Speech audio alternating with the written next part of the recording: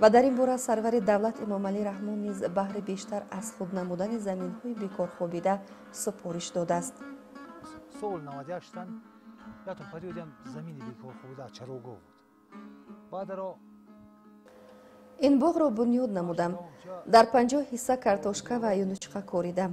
Ҳар сол ҳосили хуб дорам. Барои бунёди ин боғ сад маротиба бо мошини калону буркаш сан кашондам ҳар рӯзи ҷумъа ба бозори шаҳри хорух маҳсулоти шириро ба фурӯш мебарам ва зиндагии мо аз ҳисоби ин даромади ба даст омада мебошад.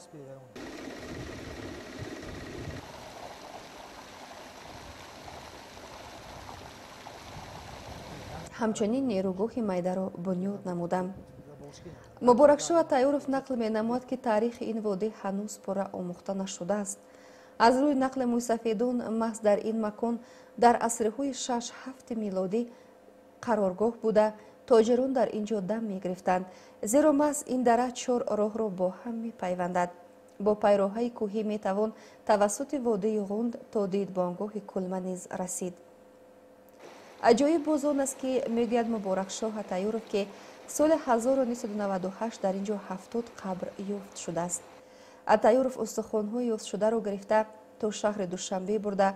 Ва дар он ҷо яке аз археологҳо устухонҳоро омӯхта маълум намудааст ки онҳо мутааллиқ ба одамони асри ҳафт мебошанд. Вале аз соли 1998 ин замон дар ин бора аз ҷониби масъулин ягон омӯзиш ва таҳқиқот гузаронида нашудааст атайёров иброз медорад ки омода аст дар омӯзиши таърихи водӣ ва қабристонҳои ёфтшуда ба археологҳо кӯмак расонад.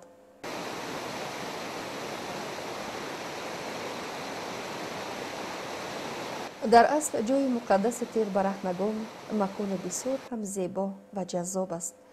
Оид ба пайдоиши он шарипов бахталӣ чунин қайд менамояд ки дар давраҳои қадим дар ин ҷо ҳаждари азим арзе вуҷуд доштааст ки бисёр мардумонро ба коми худ фурӯ бурда. Ҳазрати алӣ бо шамшири мубораки зулфиқори худ ҳаждаҳоро мекушад ва мардумро аз даҳшати он наҷот мебахшад. Ҳазрати алӣ дар ин ҷо намоз мегузорад.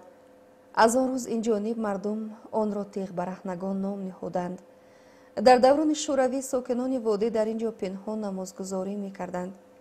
Имрӯз низ мардум барои саҷдаи қадамгоҳи ҳазрати алӣ ба ин ҷо мебиёянд ин аст ки он чизе ки парвардигор офаридааст ва танҳо ба инсон ақли ато намудааст ва инсон бояд нисбати он неъматҳои худованд эҳтиром бигузорад ва боз як чизе нақли аҷдодони мо ҳаст гӯё ки ин воқеаи таърихӣ будааст ки дар ин ҷоҳо бузургони дини мазҳаб намоз гузоштанд ва мо ба хотири пок нигоҳ доштани арвои он бузургон ин ҷоҳро ҳифз намуда пок нигоҳ дошта ва муқаддас мешуморем ва боз дар он замонҳое ки дину мазҳаб сахт таъқиб мешуд ва ҷамоатхонаҳое ки ҷои намозгузорӣ буд онҳо манъ карда шуданд ва мардум барои рози ниёз бо парвардигор ки эътиқоди қавӣ доштанд ва ин ҷоҳҳои муқаддасро зиёрат در مردم ما یک انعنه است. وقتی که به شهر دهات دیگر سفر می‌کند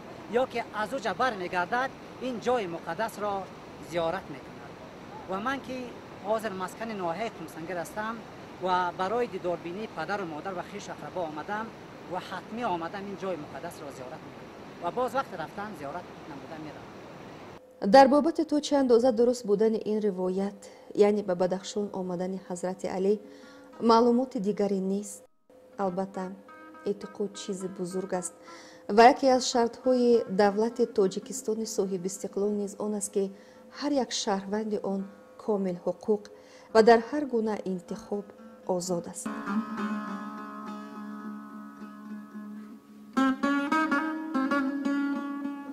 Ҳар як саҳифаи зиндагӣ моро аз гузаштагонамон ҷудо месозад ва дуртар менамояд фақат суннатҳову расму оинҳо ёдномаҳову маросимҳо метавонанд гузаштагонро бо имрӯзиён ва имрӯзиёнро бо фардоиён пайванд намоянд. Ва эҳёгари ин расму оинҳо низ истиқлолияти ватан мебошад